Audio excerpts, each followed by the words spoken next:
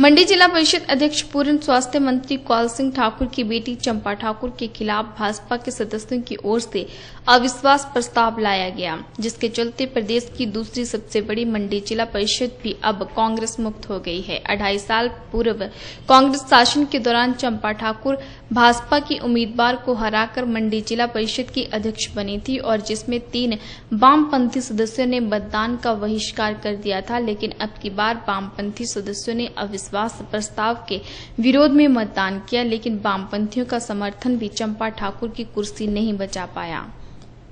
विधानसभा चुनावों में कांग्रेस के वरिष्ठ नेता कौल सिंह ठाकुर की हार का मुख्य कारण माने जाने वाले जिला परिषद उपाध्यक्ष पूरन चंद ठाकुर ने भी चंपा ठाकुर के समर्थन से हाथ पीछे खींच लिए हैं। उन्होंने स्पष्ट तौर पर सत्ता पक्ष भाजपा को अपना समर्थन दिया है। पूर्व मंत्री कौल सिंह ठाकुर को हराने के उपरांत पूरन ठाकुर अब कौल सिंह ठाकुर की बेटी की कुर्सी छीनने में भाजपा का साथ दे रहे हैं।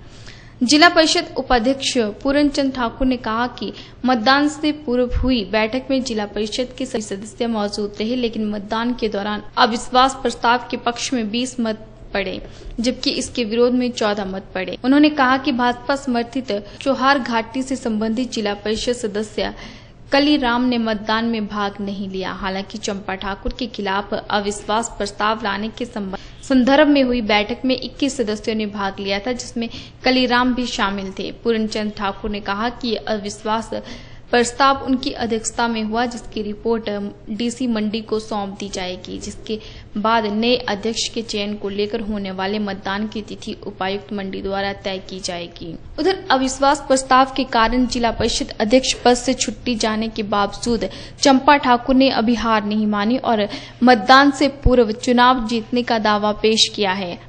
अविश्वास प्रस्ताव का प्रतिक्रिया ज़ाहिर करते हुए वरिष्ठ कांग्रेसी नेता, पूर्व स्वास्थ्य मंत्री कौल सिंह ठाकुर की बेटी चंपा ठाकुर ने कहा कि छोटे कार्यकर्ताओं से लेकर मुख्यमंत्री जयराम ठाकुर तक जिला परिषद की कुर्सी के लिए भाजपा के सत्ता में काबिज होने के बाद पिछले छह माह से अंदर खाते लगातार प्रयास कर रहे हैं। उन्होंने कहा कि सत्ता पक्ष ने कुछ कांग्रेसी सदस्यों पर दबाव बनाकर अपनी तरफ़ किया है। चंपा ठाकुर ने कहा कि मतदान के दिन वह बहुमत साबित करेंगी और भाजपा को मुँह की खानी पड़ेगी। जिला परिषद, जिला मंडी की अध्यक्षा श्रीमती चंपा ठाकुर के खिलाफ अविश्वास प्रस्ताव आया, जिस अविश्वास प्रस्ताव पर 21 सदस्यों ने अपने हस्ताक्षर किए हुए थे।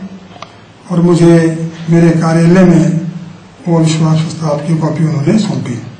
उस पर चर्चा के लिए 26 तारीख तय की थी तो कुल 34 सदस्यों ने अपने मत का प्रयोग किया।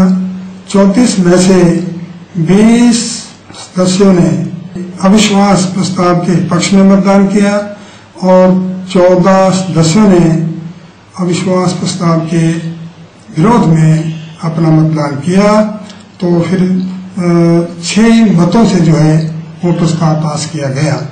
अब जो है, आज ही जिलाधीश महोदय जी के पास वो फ़ाइल देंगे और जिलाधीश महोदय जी, अगला जो अध्यक्ष का चुनाव होगा, वो जिलाधीश महोदय जी के माध्यम से होगा। और इसका माननीय सदस्य इसका चयन करेंगे कि हमने किसको जो है अध्यक्ष बनाना है, कि ये भाजपा समर्थित मात्र भाजपा समर्थित सदस्यों ने जो इस अविश्वास प्रस्ताव को लाया था, ये सरासर गलत है।